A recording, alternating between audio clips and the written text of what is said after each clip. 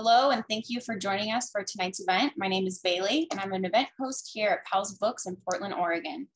Before we begin, I want to encourage you to check out our lineup of upcoming virtual and in-person events by visiting our website at powells.com and clicking the events tab at the top of the page. Please remember to follow us on our various social media channels such as Twitter, Facebook, and Instagram. Tonight, we're honored to welcome author Russell King in conversation with Walden Kirsch to discuss Russell's novel, Rajneeshpuram. In 1981, ambitious young Ma Anand Sheela transported the Indian guru Bhagwan Shree Rajneesh to the United States to fulfill his dream of creating a utopia for his thousands of disciples. Four years later, the incendiary Rajneeshpuram commune in Oregon collapsed under the weight of audacious criminal conspiracies hatched in its inner sanctum, including the largest bio bioterrorism attack in US history, an unprecedented election fraud scheme, and multiple attempted murders. Drawing from extensive interviews with formal disciples and an exhaustive review of commune records, government and police files, and archival materials, author Russell King probes the charismatic power that Bhagwan, later known as Osho, and Sheela exercised over the community in the turbulent legal and political environment that left commune leaders ready to deceive, poison, and even murder to preserve their home and their master. Rajneeshpuram is a fresh examination of the Rajneesh story and using newly available information and interviews with high-ranking disciples who have never before shared their stories.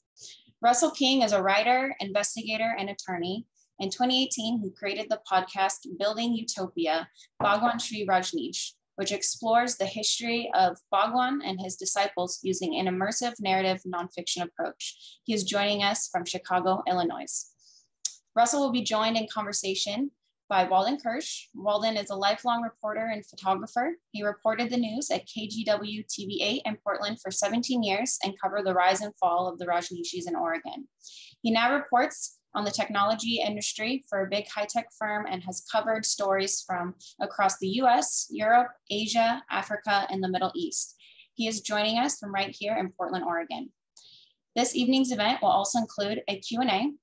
Please use the Q&A button located at the bottom of your screen if you'd like to ask a question at any time. If someone has already typed a question that you'd also like to know the answer to, please upvote that particular question. Perhaps most importantly, please support Russell and Powell's by purchasing a copy of Rajneeshpuram. Keep an eye out on the chat where I will be sharing links to purchase this book. Now let's give a warm virtual welcome to Russell King and Walden Kirsch. Thanks, Bailey. so Russell, nice to see you. You know, although you and I have never actually met face to face, it feels like uh, we've been on the same crazy roller coaster ride of this just wild, crazy, unpredictable story. I now, I was there covering it, of course, and you, as Bailey has said, did an, has done an amazing amount of really in-depth research interviews and archival stuff and so on.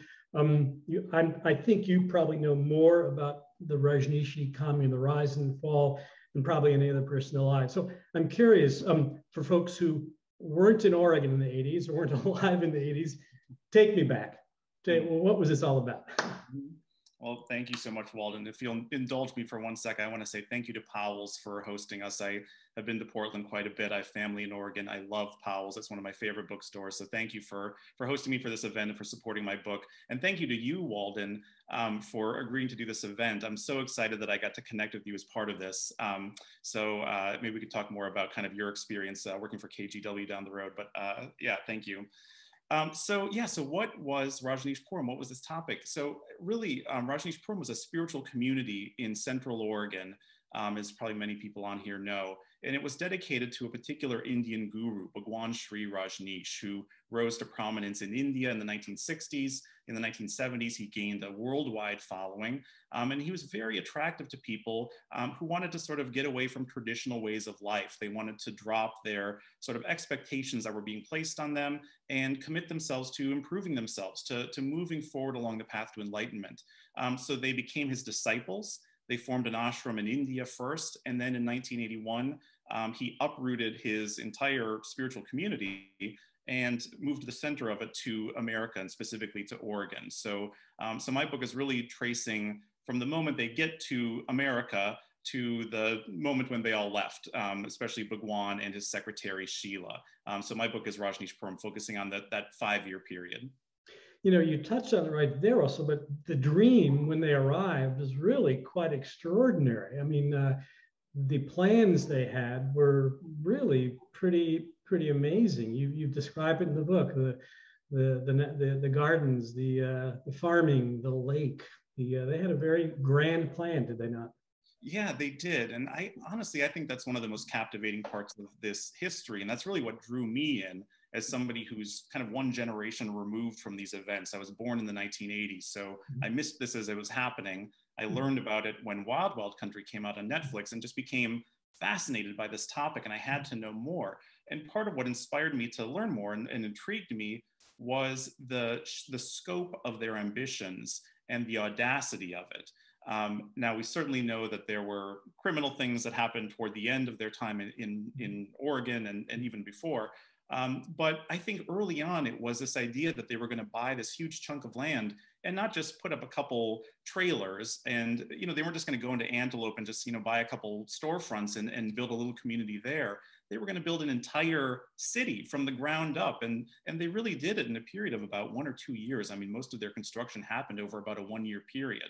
Um, so it's really remarkable what they were able to get done in that amount of time and sort of the, the scope of their ambition. Now, when we get into the criminal uh, elements, you'll see that some of that ambition, unfortunately, carried over to their, uh, you know, not so legal schemes. But um, but the construction was certainly a piece of that.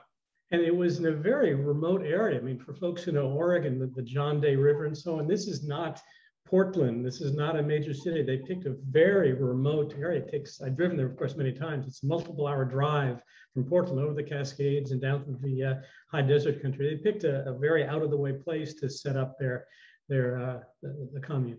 Yeah, they sure did. And that's something, another thing that's interesting about this is, and, and questions that I've received since putting the book out there is, you know, why did people care so much? I mean, they really were in a, in a remote area where people couldn't even see what they were doing, frankly. I mean, it was 125 square miles. It was more than 80,000 acres. And the closest town was Antelope, which had a population of about 40. Um, so to to see what they were actually doing on their commune in their community, you really had to go looking for it. You had to you had to drive down that county road, that winding, rutted county road, which I'm sure you drove many, many times, um, to get to get to the heart of the commune to see what they were actually doing. Um, but there was just a very intense interest in what they were doing. Why, why did they come here? Why did they buy this big chunk of land? Um, there was rumors about them being a sex cult who had been abusive to people in India. And so certainly there was a lot of public interest from the minute they set foot in Oregon. Let's pick up that thread in a second, but I think it might be worth asking, based on the, the amazing dream that we know the Rajneeshis had, where did things start to run off the rails? When did things start to go south, Russell? Yeah, so my theory, and I sort of posit this in the book, is that Rajneeshpuram was doomed from the moment they decided to buy property in Oregon. I think they actually could have done a lot of what they intended to do if they had gone to, say, Wyoming or to states where there are places where you really can do a lot on a piece of remote property and, and not get a lot of government interference.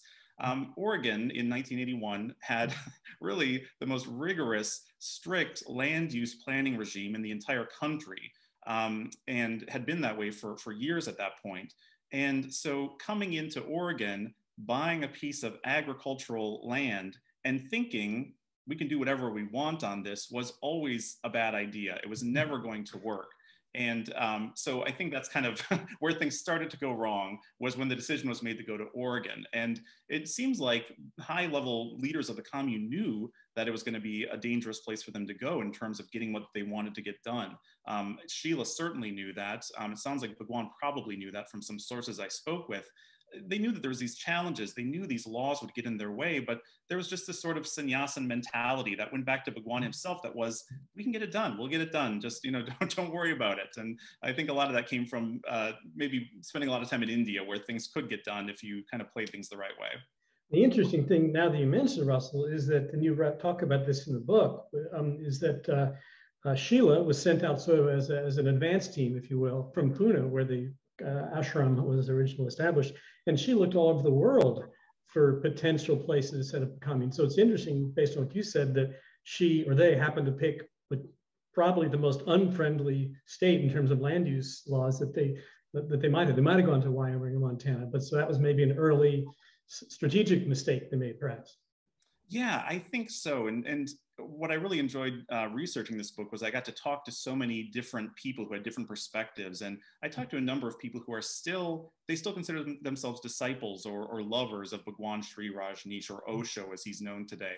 And they often talk about Bhagwan in terms of mysteries or kind of puzzles that he would put forth to his disciples as something for them to solve or something that in the process of solving would sort of move them closer to enlightenment or, mm-hmm. or down their spiritual path.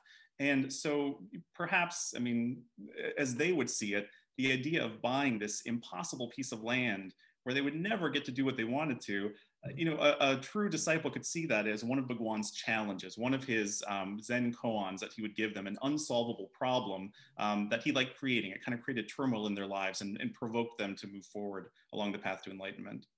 Know, it's interesting. That raises a question in my mind, which I think you answer nicely in the book, and I have puzzled over, frankly, myself for many years. Is what exactly was the appeal? I mean, he attracted people Bhagwan from all over the world. And at festival time, as you report in the book, by the thousands from all over the world. Um, talk a little bit about what it was that caused people from all walks of life, but especially the wealthy and the educated, to decide to give up everything, which many did, sign over their homes, their their their valuables. What caused? What was the what was the magnetism that, that he had, from based on your conversations? Yeah, so it's important to put this in the context of the 1970s, which is when he attracted most of his disciples. And it was a time when a lot of people were seeking something spiritual that, that was missing from their lives, particularly people in the West. And you see this with, um, you know, the Beatles moving to India for a period of time in the 1960s and living with a guru. I mean, there was sort of a movement that you needed to find spiritual answers. You needed to find your guru, find your path. And you couldn't do that by working as an accountant in Dayton. You know, you, needed to travel and, and expand your world. And so a lot of people were going to India in the 1970s and looking for someone who could help them move along that path and, and sort of discover themselves. And what was so appealing about Bhagwan is a, a couple things. One is that he spoke English um, and could communicate with them just kind of personally. Um, he also had an understanding of the Western world and mm-hmm you know the western mind you could call it he really understood sort of the western perspective he read a ton he read at least over 100000 books probably more than that mm-hmm. um, and remembered them very well he could he could recite them sometimes almost verbatim in his mm-hmm. lectures um, so he really understood them when they came and sat at his feet um, and he was very permissive, which I think was also appealing to people who were trying to get out of maybe a, a, a, rigid life or a marriage they didn't want to be in, um, children that they didn't really want to have in their lives anymore, um, you know, those oppressions that they were trying to escape. But Bhagwan's attitude was, you can do whatever you want. Um, drop that stuff. If you don't like your family, drop your family. They're, they're holding you back you don't need a career. You know, he, he kind of was very permissive. And I mm-hmm. think that did appeal to a lot of people who suddenly realized, well, I don't have to live in London. I can come live in your ashram and dedicate myself to you and to my own spiritual growth and take group therapy classes and dance and make music and, and have sex with whoever I want to have sex with. I mean, that was sort of Bhagwan's permissive attitude. And um, that was very appealing to a number of people in the 1970s and 80s. You know, it's interesting. Let's uh, move a little bit ahead, sort of chronologically. So you described, painted the picture of what the appeal was. Um, as everybody knows now, um, things went south pretty rapidly. Um, trace out for me what it was that sort of started the snowballing of the collapse of the commune. What what came unraveled? Why did that happen, Randy? Yeah, it's it's a, definitely something that I tried to untangle in my book, and I think when you read that, or when you kind of read any history of it, you see that there was a lot of pressures on the commune from the outside, but also a lot of pressures from the inside. And it's hard to identify any one particular thing. I do think, for example, like I said before, just buying that piece of property was mm-hmm. sort of the beginning of the end, mm-hmm. because the moment they set foot in Oregon, they were in conflict with everyone around them. Mm-hmm. Um, another problem is that they were lying, the disciples were lying about what their intentions were in Oregon from the very beginning. Um, it was always supposed to be the new commune. This is something that Bhagwan had been talking about in India for years, that he wanted to build this very progressive, very experimental new commune. It was going to be his mystery school where master and disciples could be together, um, explore their spirituality, explore the mm-hmm. great uh, mystics over time, Um, and, and Oregon was going to be it. The, the Rajneeshpuram was going to be it. But when they came to Oregon, they didn't say that. they didn't say to the people of Wasco County, well, we're bringing thousands of people to live here. Um, they talked about a, a, small farming community. That's what they were doing. And, and, in fact, they didn't even say that Bhagwan was going to be living there at first. He was in New Jersey initially when they came to America. And um, so there was a lot of deception happening from the very beginning. And um, locals, I think, picked up on that pretty quickly. I think county officials picked up on that, state officials picked up on that. And so then it became a, a trust issue. And once you started having that, I, I really think that then snowballed. That's probably where the snowball started. And you know, obviously, uh, as Bailey pointed out, you're a lawyer, and this gets really legal really quickly. This mm-hmm. is a very complicated legal story, which you untangle very nicely in the book. But um, there's a bunch of threads here, a whole bunch of threads that they were sort of fighting from a legal perspective as things became came unraveled. Can you kind of untangle that for us?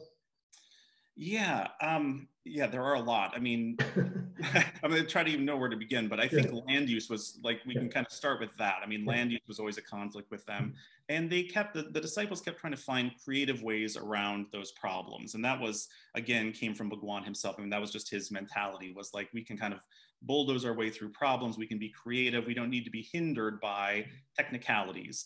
And so, for example, their greatest idea that they had at the time was to incorporate their own city on their ranch property. Um, and that would allow them to control zoning. They would control the zoning board, they would have the city government, um, all disciples. And so it gave them the control that they needed, the autonomy to build the commune that they wanted to build that would fulfill Bhagwan's vision. Um, and so, but that led to legal entanglements. And, um, and that's part of what I track in the book is sort of what were they trying to do? How did they do it? And then what were the consequences? It's a cause and effect story that mm-hmm. gets you to the point where people are willing to consider poisoning and you know poisoning entire community and murdering public officials. And i mean those seem so just wild. And that was part of the mystery for me was how do you get to that point?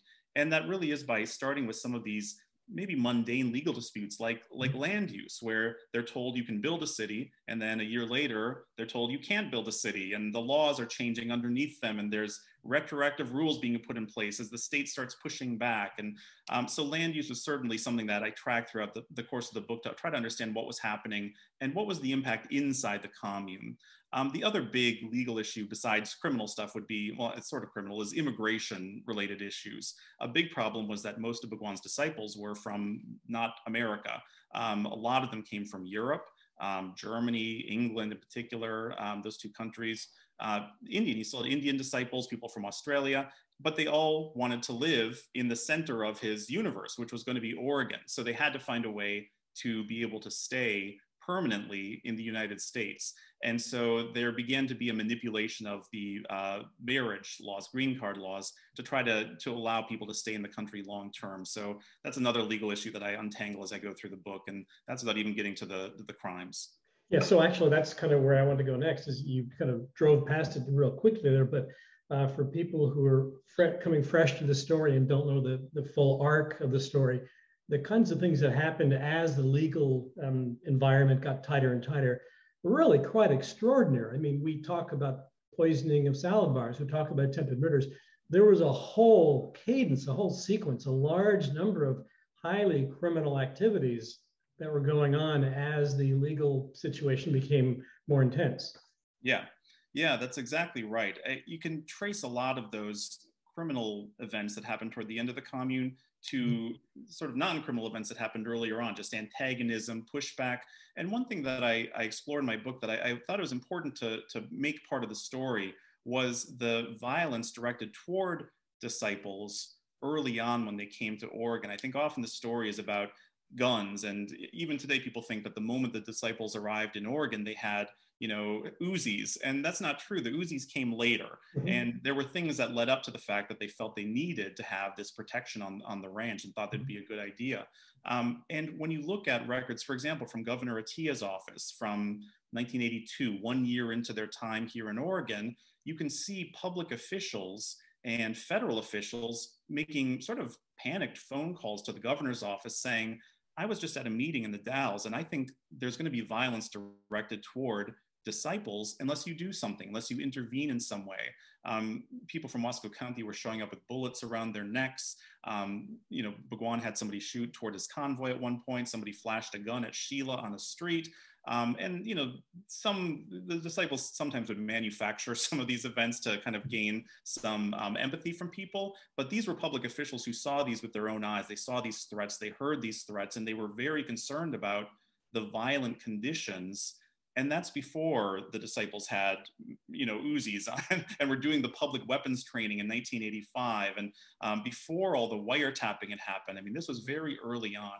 Um, so i'm certainly not absolving the sannyasins of some of their antics early on when they first came in terms of lying to people and sort of manipulating the laws to get what they wanted um, in certain cases. But i also think it's important to look at the flip side of that which is that in reaction to some of that, they were getting a lot of antagonism from from people in the community outside of uh, outside of the commune. So um, that's an important part of the story.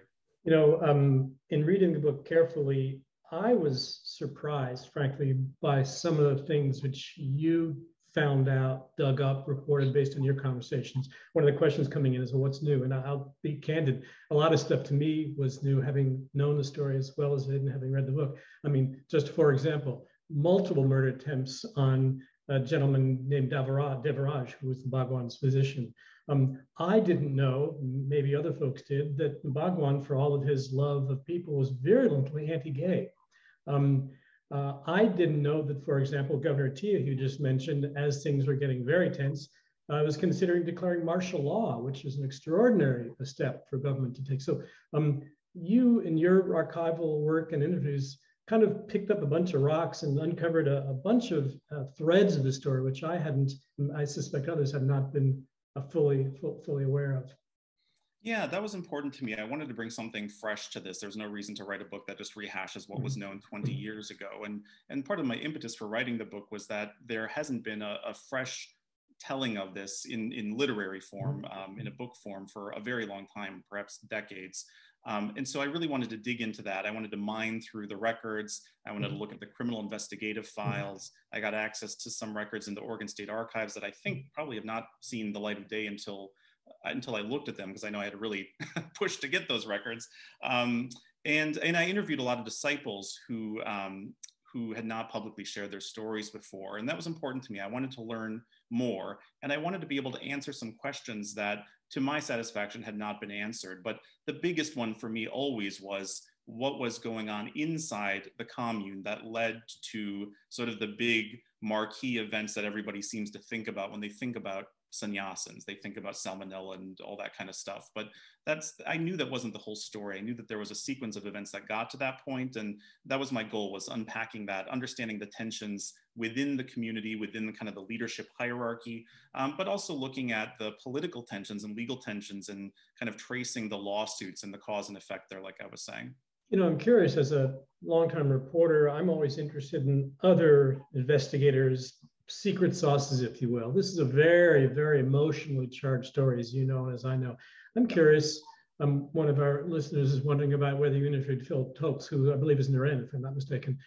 How did you um, approach and how did you um, communicate to the people you were talking with that um, you were somebody to be trusted? Because uh, there's a great deal of mistrust even after all these years. How did you um, arrange to have conversations that were meaningful and produced helpful new information?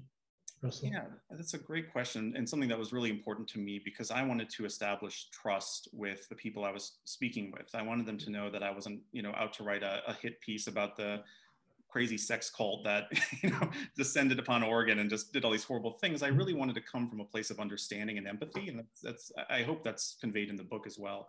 Um, and so really, it was a matter of sort of getting my foot in the door with a couple people who had listened to my podcast series. I, I did a podcast about this topic um, called Building Utopia, Bhagwan Shree Rajneesh.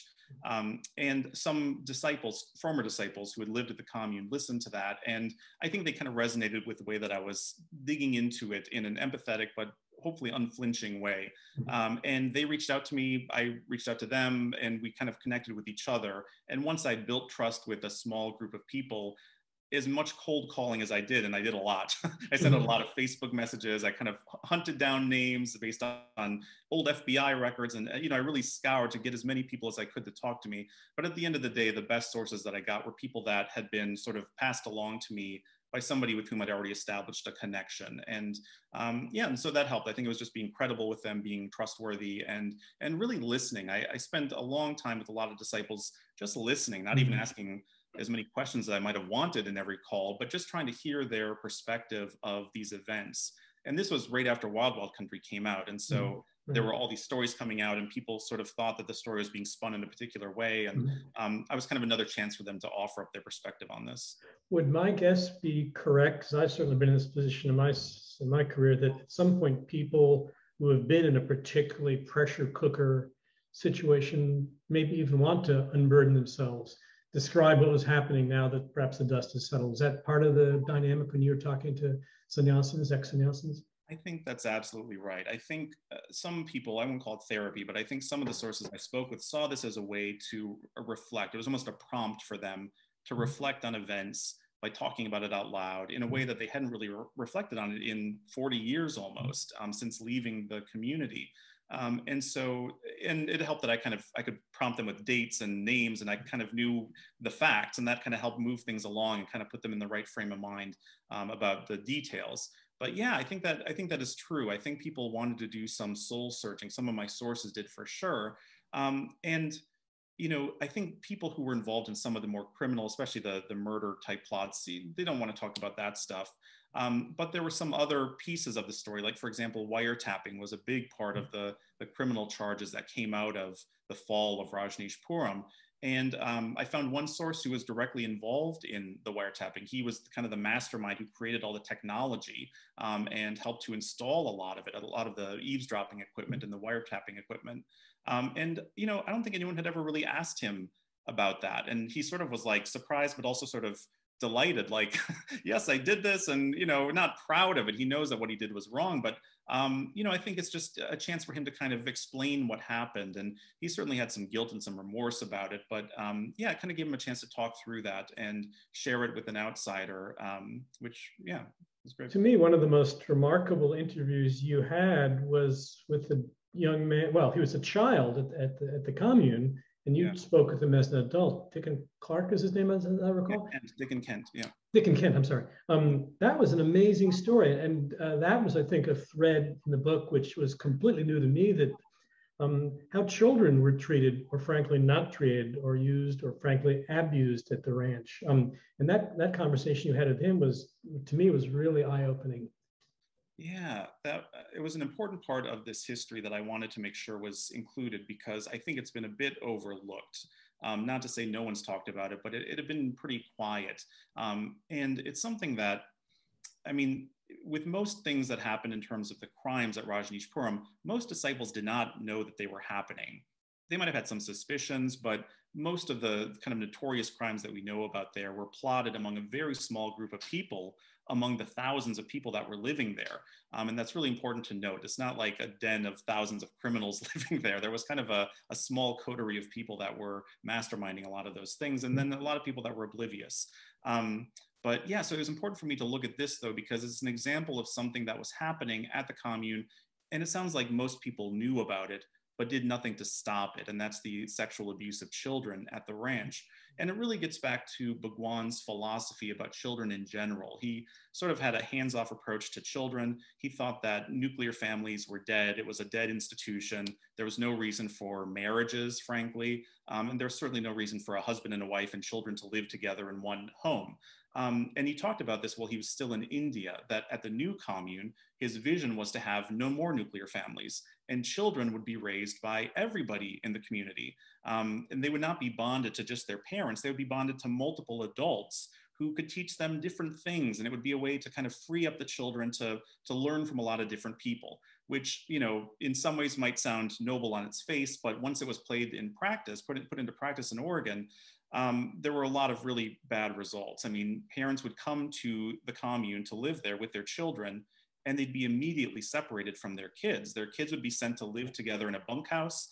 um, or into trailers with other adults who they didn't know. And their parents would be sent off to live somewhere else. And that was just the way it was going to be. And, and everyone had to kind of go along with that.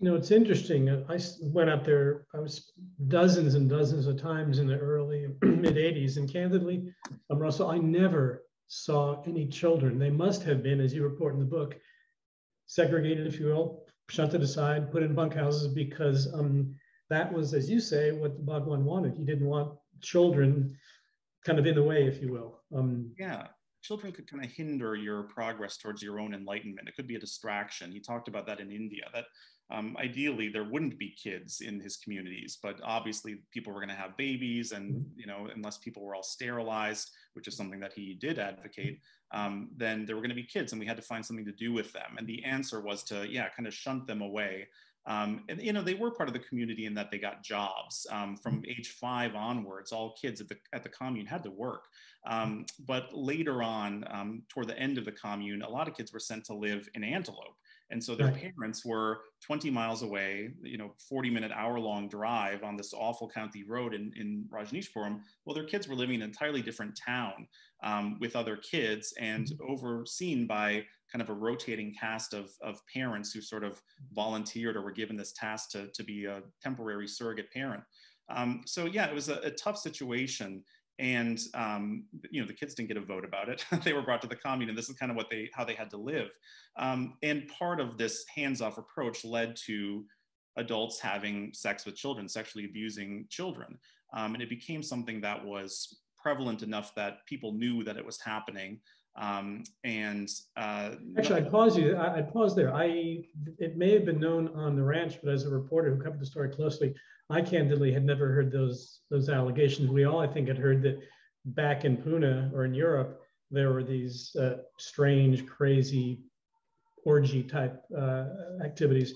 But yeah. when I was covering the story, I certainly had been, had not been aware of any allegations, but which to me was a new a new thread uh, a new thread in the book. Yeah, that's a great clarification. And yeah, people on the commune, it sounds like generally were aware that this were happening. Maybe not yeah. everybody, but it sounds like a lot of people were aware that this was going on.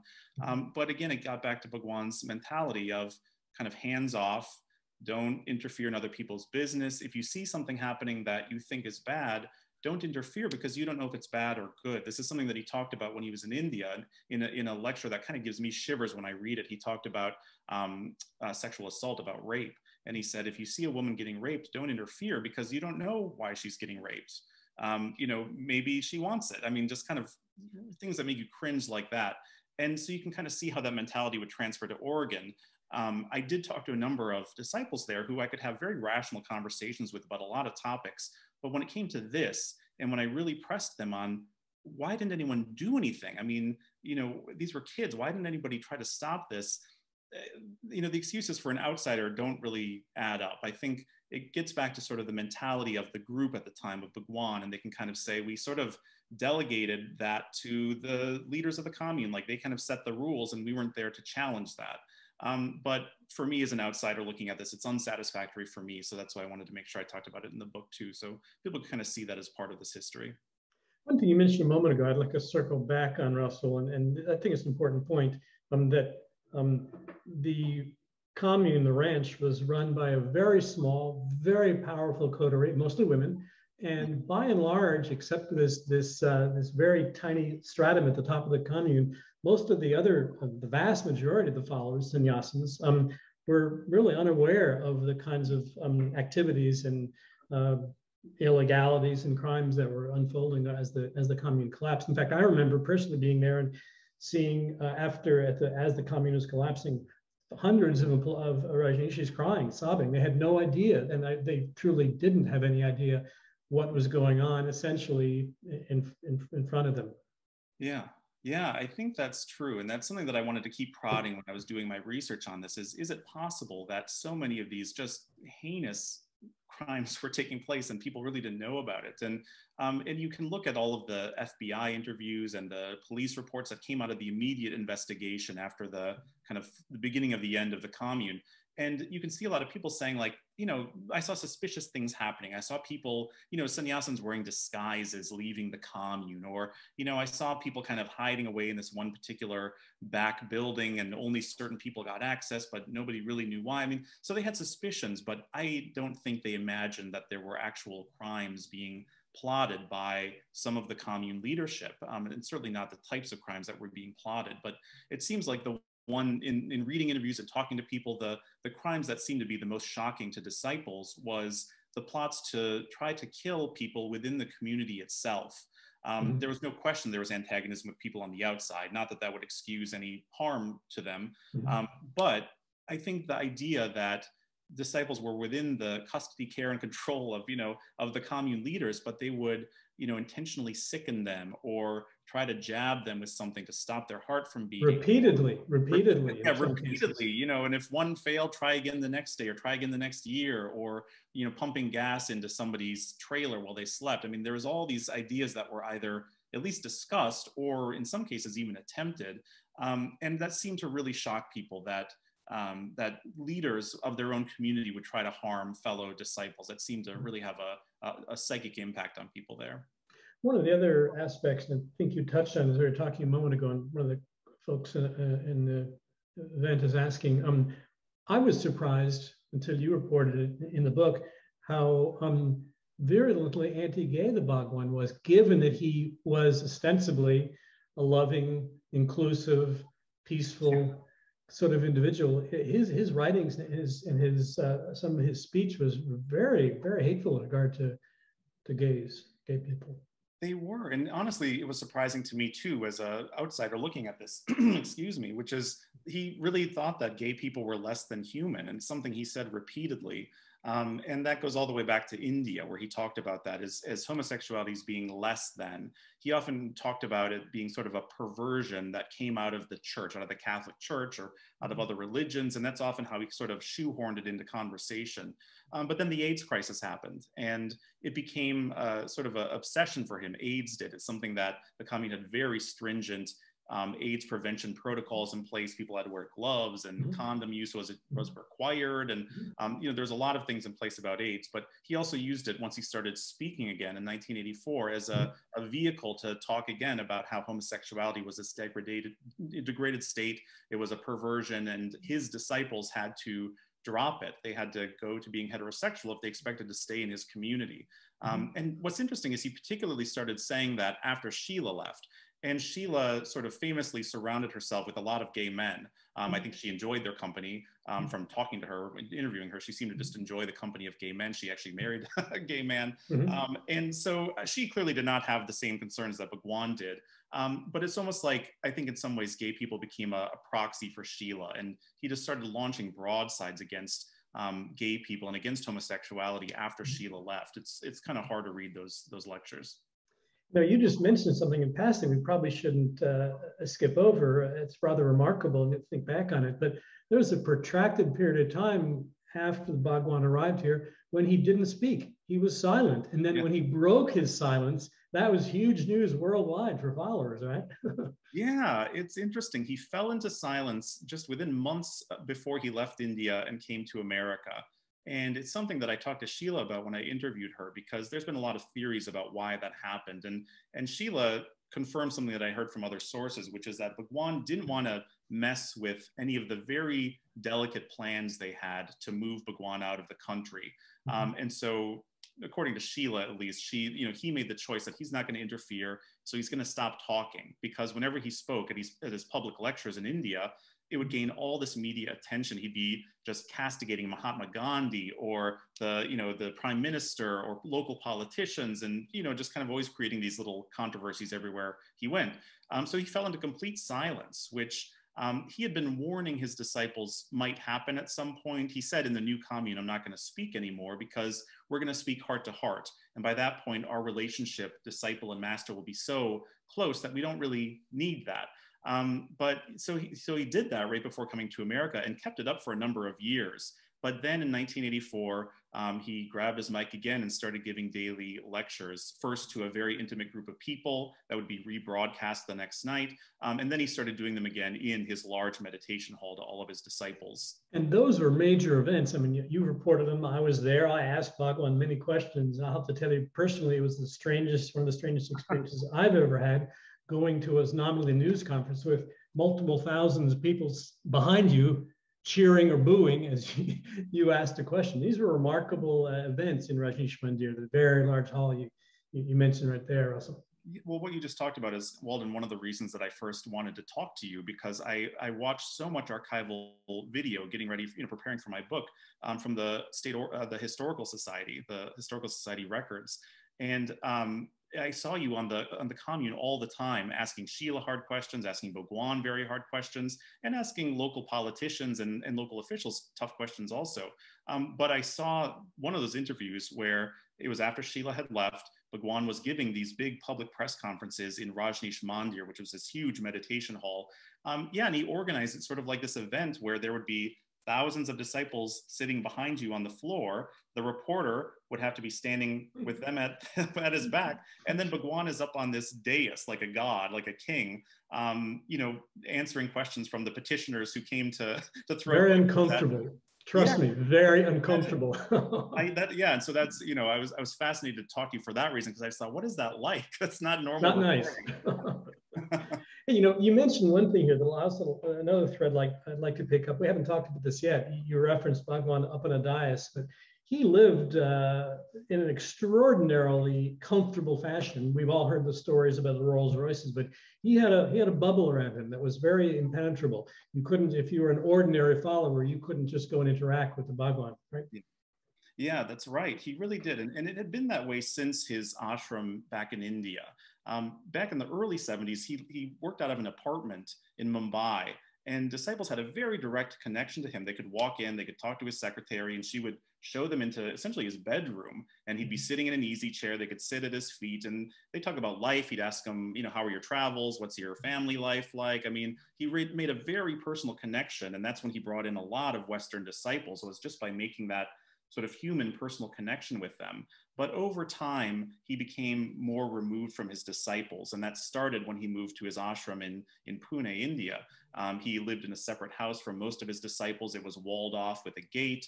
Um, they could see him at certain times, but it was always in a group. He stopped doing individual appearances um, in most cases. It was, it was, always in a group, always with an audience there to sort of laugh at his jokes and cheer him on and witness the proceedings, to make music. Mm-hmm. Um, and that continued in Oregon. He basically didn't see anybody for uh, probably the first probably two years that they were here, he would dri- do his drive-bys. He might show up at maybe his birthday celebration and, and, appear on the stage, but he wasn't speaking. So he wasn't really communicating with, with his, his disciples until he reclaimed his microphone in 1984 and began giving discourses again. Talk about the drive-bys. Those, those are remarkable uh, events. Uh, I went to a number of them. So what, what was that all about? Yeah, it, it, sounds like it, it happened organically. Bhagwan hmm. really enjoyed driving. He, he stopped driving for a long time in India. And then as soon as he got to New Jersey, when he was temporarily holed up at a castle in New Jersey, he wanted to drive and, and they had Rolls Royces at his disposal. He really liked them. And so he'd go shooting down the Garden State Parkway. And, and I, heard he got a, a ticket once, a, you know, a, yeah, a speeding ticket. Um, but he really liked driving. And I, I suspect, I don't know this, but I suspect it was a chance for him to get out of his bubble a little hmm. bit. I mean, he really was, he lived in a compound of trailers up on a hill at Rajneeshpuram that was separated from everybody else again. No one could just kind of waltz up there and see him. Electric fence around it, and only very certain people could live there or even visit that, that compound. Um, and so I think, especially in this period of silence, driving was just a chance for him to non-verbally just get out and sort of be among his people. It, mm-hmm. started with him just driving to some local towns, maybe Madras, mm-hmm. um, and coming back again on the on the on the county highways. Mm-hmm. But over time, people started realizing that Bhagwan was driving at a certain time every day, and so informally, people just sort of gathered along the road, and eventually it turned into a formal thing at a certain time. And um, as I'm sure you saw, towards the end of the commune, it became almost like a militarized yes. event as things were getting very heated with people on the outside as they were doing all this guns demonstrations, guns training. There was a helicopter that'd be hovering over the convoy, people with guns kind of hanging out of the helicopters. I mean, yep. it was a security event also, uh, you know, high, high risk security event that they monitored very closely because really it's the closest that people could get to Bhagwan um, while he was in Oregon. You know, you alluded to that, and I think you and I have talked about previously that um, as things became tenser and tenser, the amount of weaponry wasn't wasn't just uh, the Rajneesh police force up in the helicopter with automatic weapons pointed at the ground, but they were they were building up their their uh, their their weaponry and they were engaging, as you already I think mentioned, in target practice, and they were very very serious about uh, confronting the threats that they perceived with uh, with deadly deadly force. Right? Yeah, they, that's true. They would hold very public demonstrations, and and sometimes it was in response to um, comments made by like the sheriff, the Wasco County mm-hmm. sheriff, or the DA you know, expressing concerns about sort of all these guns and these untrained people there. And so the response to that was, okay, we're going to have these these kind of show trainings where the, the press will all get called out here to the ranch. We can watch us, you know, on the the range and see our accuracy and see we've got this Israeli commando who's barking orders at us. And um, yeah, part of it was to, to sort of convey to the public to the people of Oregon that we're a serious, seriously armed place. And if mm-hmm. you come in here, you're coming at your own peril. Um, and you can see that in, in, statements that Sheela was making at the time too, about how, you know, we'll, you know, take one of our heads, we'll take 10 of your heads or 15 of your heads. I mean, she, you know, she was making very inflammatory statements about um, returning violence for violence. And that was just sort of the, given the inflammatory nature of things at the time, it was just a, a very tense period in Oregon. And, and as that was unfolding, and one of our attendees is asking about this, um, you couldn't just walk freely around the commune. Uh, you talk about Isabel, we call them the Twinkies. I don't recall if that comes up in the book, but yeah. the, it was a very, very um, controlled uh, media environment. Um, the strangers, or I shouldn't say strangers, but visitors had to check in, had to leave their vehicles. Um, it was a, a very um, uh, very controlled environment. Rajneesh didn't want people, and for good reason, I should say, uh, simply walking around um, the commune unescorted, right? Yeah, and one incident that I talk about uh, led to a lot of changes in security at the commune, and that has to do with the hotel bombing um, that happened in 1983. In the summer of 1983, the mm-hmm. Hotel Rajneesh, which was in downtown Portland, 11th um, and Main, Hotel Washington, uh, Hotel Martha Washington today. Let me know the address. I was worried yeah. I get asked that. I don't know the address, but I actually visited it when I was doing yeah. my research. Um, but yeah, the the the hotel was firebombed, um, and in my research, I, I, found out that the, the person who did the bombing had been at the commune earlier that day mm-hmm. and had in fact spent the night at the commune the night before. Mm-hmm. And it was at a time when the commune was beginning to welcome outsiders to stay there for a period of time other than just for a hour long tour. Um, they started having sort of resort facilities, meditation facilities where people could sign up, pay money. They could stay in kind of these A-frame cabins that they had up in the canyons, or they could get a tent and you know pitch a tent somewhere, um, and then do meditation courses and things like that while they were at the commune. This was a new initiative there to sort of bring people from outside into the commune and show them, you know, maybe they weren't so scary. Um, but that sort of backfired. Bringing people into their community was a risk. And that's made apparent by this firebomber who, with two associates, visited the commune the day before. We don't know if they had bombs with them at the time that they came to the commune, but they certainly had some duffel bags that they were sort of constantly shuffling around with them as they moved about the commune. Um, and they didn't exactly have free reign, but they, they really did a lot of wandering. Um, they hmm. wandered late into the night. They were walking along the county roads. A lot of disciples saw them. The, the peace force officer stopped at one point to see what they were doing. And, um, you know, they had probably more free reign than would ever happen ever again after that, because then the very next day after they left the commune, they didn't plant bombs there for reasons unknown, um, but they traveled directly to Portland. Um, Stephen Paul Paster went up to, uh, to one of the rooms on the fourth story um, and planted three fire bombs that went off later that night. Um, so immediately after that, the security and, and surveillance apparatus descended upon Rajneeshpuram and became much more difficult for anybody on the outside um, to just kind of wander freely about the place. There was a spy system that was created. People were surveilled. Um, microphones were put into hotel rooms um, so people could be bugged having private conversations. And then the phones were tapped. And a lot of that gets back to the fact that these um, attackers had walked among them just you know days earlier. You know, you mentioned the bombing of the uh, Hotel Rajneesh, now the Martha Washington Hotel. I was very surprised. This is something which I, I, I uh, learned from the book, among many other things, that the um, gentleman who did that bombing is still in the bomb making business. Yeah, as of until at least recently, he um, he was affiliated with a radical Islamist group based out of Pakistan, um, and he was known to be affiliated with them at the time, um, back in you know the 1980s when this happened.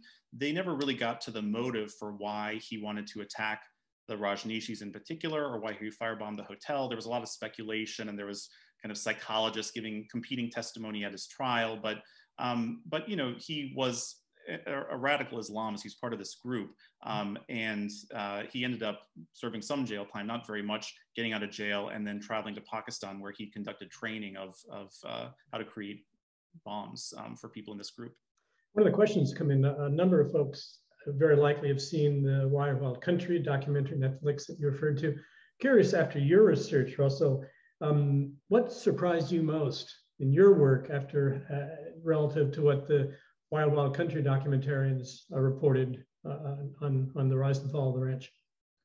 Yeah, it's a really good question. First off, I loved Wild Wild Country, and I had, I think it was a fantastic docu series. I did a good job of sort of telling balancing perspectives, yeah. and and for my book, I intentionally decided to focus on inside the community. Um, and so the surprises for me along the way were sort of the connective tissue. And that's what I was most interested by. So I probably don't have one great, like, sparkling answer of, like, aha, I found this thing that no one knew. But along the way, I kept kind of piecing things together where I kind of look at dates coinciding, or there'd be a big court hearing on this day and then a kind of inflammatory public statement made two days before it. And you can kind of start piecing the trajectory together a little bit more. So those were kind of the happy surprises that I learned mm-hmm. along the way um, was just sort of like cause and effect. Um, so that was really important to me, I think. And then, yeah, I don't, other than that, I think, you know, yeah, I don't know. I just, I think that was kind of it. I think it was just kind of piecing together what all was going on. I did get some great interviews with people that I thought would never talk to me, um, and a lot of them are named in the book. Um, but then there's a lot of people too that wanted to be anonymous and not share their their full story. Um, and some of them confirmed things that had just been rumors before, but I got enough corroboration that I felt comfortable sharing their stories and talking about what happened to them in the book. So, you know, people having sexual encounters with Bhagwan himself, um, especially when he was in Mumbai. I talk about that quite a bit. Um, and then, yeah, I think the the child sexual abuse was another piece that was surprising the extent of it and how well known it was. And so I spent a lot of time trying to understand that because that did surprise me so much how sort of prevalent it was. One of the interesting questions that's come in, I haven't frankly asked myself this question, but it's worth raising is um, could something like this happen again? Where, what, what lessons do you think were learned collectively here in Oregon that would that would either allow or perhaps not allow something like this to, to, to happen again? Yeah, you know, part of me wants to say it's a once in a, and not even a lifetime, maybe once in many lifetime yeah. event because yeah. it was this pairing yeah. of this really one of a kind guru who had so much charisma and so much power over his disciples paired with Sheela, who was a really get it done kind of person who mm-hmm. didn't ask a lot of questions. She wasn't particularly educated, but she was just kind of a, a fighter and she could kind of get things done. And she was completely devoted to Bhagwan and, and really wanted to fulfill his vision, especially early on. Um, and so when you have that pairing, that's kind of a unique pairing, I think. I mean, not unique in history, but they were so um, capable. They got so much done and they worked well together despite how horrible things went they could kind of she could fulfill his vision and that's what led to so many um, i think horrible things happening. Um, but i think one lesson that i took away from it in talking to disciples was learning more about the idea of surrender. That was a big part of being a sannyasin. Um, it was sort of his tentpole pledge early on was that if you surrender to me as your guru i will transform you. Mm-hmm. and i talked to a lot of disciples about what does surrender mean and everybody understood it in a different way, sometimes slightly, but sometimes very different. Um, some people felt they were really literally surrendering to Bhagwan, that he was now in charge. They were going to do what he said. He would set the rules and they were just there to be a vessel and to be sort of molded by him Mm. and you can kind of see that in in the requirements of becoming a sannyasin you Mhm. had to change your name Yep. to a name that he gave you you had to wear his Wear- picture around your a neck mala, right? yeah the mala necklace you had to wear colors that he told you you had to wear these sunrise colors Mhm. um, and then you know if you were living in his community you were abiding by his rules and the rules of the people underneath him so Mm-hmm. you really were sort of surrendering your life to him in a way but other people were a little more sort of skeptical of that and they said we weren't surrendering like zombies to him. We were just surrendering our egos to a, master who could then help us along the path to enlightenment. But it wasn't surrendering to the man or to the guru. It was just sort of surrendering our egos. So people had different conceptions but that to me is dangerous. I think it's dangerous that so many people were part of this thing and had this important sort of obligation to Bhagwan, but there wasn't a lot of agreement about what it meant. And once you surrender to another person, I think you're giving up a lot of power and becoming vulnerable. Um, and So on, on that score, and I'm not going to stray too deeply into politics, but any lessons, not just for Oregon, but for our greater American political system for surrender to highly charismatic yeah? In my interviews, I had a lot of people make analogies to certain political leaders along the way. Um, you know, Sheela is like so and so, and Bhagwan is like so and so, Mhm. and even frankly, at the time, there were always Hitler comparisons being thrown around. That Right. you know, at the commune, they would talk about the Attorney General Frohnmayer as being a Nazi. You know, in the way that Right. he was treating the sannyasins, and Right. at the same time, you know, there's disciples who report hearing a tape of Bhagwan sort of lauding Hitler and saying good things Mhm. about Hitler as a Yeah, leader. yeah. So um, Yeah. there's certainly, you know, some authoritarian elements going on at the commune itself. So I'm sure you can take all of those things and apply them to, a, to our modern world. Uh, uh, know if know, I'm qualified. Time is uh, ticking down, but I did want to didn't want to close here without at least talking a little bit about Sheela, because after the Bhagwan, Sheela, not Ma Anand Sheela, was the almost universally known individual. You obviously talked with her. Yeah. What, what, what was she like? Sheela like? she, Sheela was a trip. I mean, what's so interesting about Sheela is that she will talk to almost anybody who reaches out to her. She does Mhm. podcasts, she does interviews, she did Wild Wild Country, she's in multiple documentaries even before Wild Wild Country. So she really wants i mean this is kind of just how she is she likes a platform she likes you know talking she like she wants to get her her framing of the story out there that's really important to her um, so i was happy she said yes but i also didn't put a ton of stock into it because Mhm. she's definitely got a set of of she's got a narrative set in her head that when you look at the facts when you Mhm. even look at the crimes that she pled guilty to her version doesn't always line up with sort of what was objectively going on so um, it was interesting talking to her you kind of get enraptured in some of her stories and then realize like well, that i don't think that's actually yeah so but she's a very charismatic person fascinating to talk to and very you know to me she was very kind she kept giving me additional interviews when i asked Yeah. for more times even after i asked her some hard questions so Sure. um, i appreciated that she was willing to at least engage with me which is Yeah. more than I enjoyed talking with her. It was never it was never a uh, Yeah. never a problem getting a hold of her. Somebody here asking, um, see, Jane Stork was Shanti Bhadra, as I recall. And what happened to Shanti B? Do you, do you know? Russell? Yeah, so she's featured in Wild Wild Country. If you Yeah. remember in Wild Wild Country, there's a, a woman who is Australian. Yes. She has a very soft spoken accent. I think she was wearing a turtleneck. She talks about cleaning toilets and then rising up the ranks within Sheela's inner circle. Um, so she ultimately did get, um, she was one of the, the people that was convicted of some crimes. She, Mhm. Sheela, and the nurse Pooja um, were um, kind of the trio that first got arrested in Europe, extradited to America, um, and then they struck plea deals and served some time. So she did serve some time. She got released. She's now living abroad. Um, I believe she's in Europe, and she's just kind of returned to a quiet life. She wrote a really beautiful memoir that I suggest called Mm. uh, Breaking the Spell. Um, Mm. so after you read my book, I suggest you read Shanti's book. Um, another book, I, another book I just want to shout out is called Promise of Paradise by Satya Bharti. Another really beautiful sannyasin memoir that uh, was helpful to me quite a bit.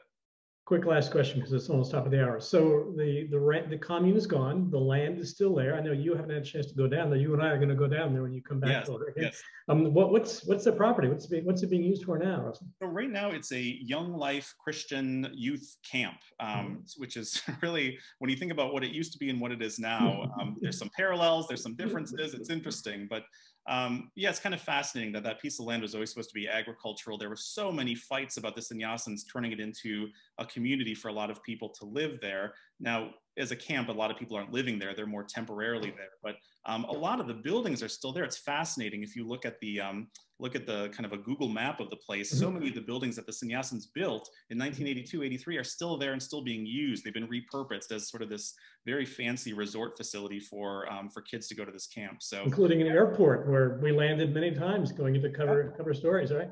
yeah, exactly. They still got the airstrip.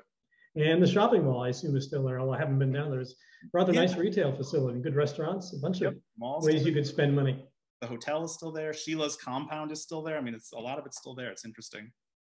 So I think we're almost at the top of the hour here. Um, um, any other, I'm gonna see if there are any other questions that we need to tackle before the, uh, I think, I think that's it here. Anything else you wanna add before I close here? No, I just want to thank everyone who's listening for joining me. I really appreciate you just kind of hearing us chat about this. And thanks again to Powell's and to Walden.